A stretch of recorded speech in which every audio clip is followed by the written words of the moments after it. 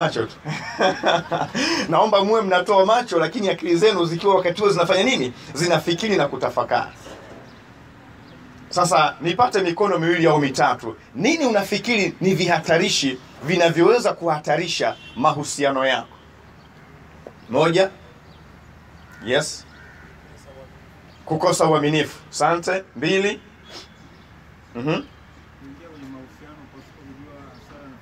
kuingia kwenye mahusiano pasipo kujua hasara na faida. ehe tatu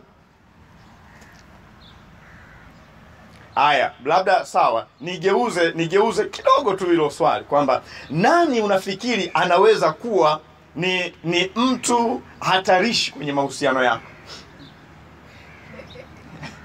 nani unafikiri umeingia kwenye mahusiano? Let's say leo umefunga ndoa lakini unatakiwa uji, uji, ujiridhishe kwamba nani unafikiri anaweza akawa threat anaweza akawa hatarishi kwenye mahusiano yako. Mm -hmm. rafiki asante. Mm -hmm. jirani asante. Eh? mama mkwe. Asante. Wewe mwenyewe au mwenza wako asante mawifi asante. Mpenzi wako. Mpenzi wako asante. Ah, that's perfect.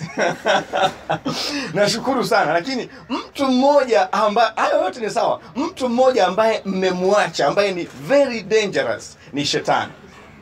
Na kama hapo hapa ambavyo ametupiga upofu wote hatujamuona shetani. Tumeona mama, mama mkwe tumeona mpenzi wako tumeona wifi lakini mwenyewe anayesababisha hatukumuona na hicho na hiyo ndio tactic ambayo shetani anaitumia. Tutaona hapo hapo mbele kidogo. Tutaona hapo mbele kidogo. Uh, uh, uh, uh. sasa sasa sasa nikupe labda mfano kwenye kwenye mwanzo sura ya sura ya nne na mstari wa wa, wa sita mpaka wa saba. So wa sita mpaka wa saba. Anasema pale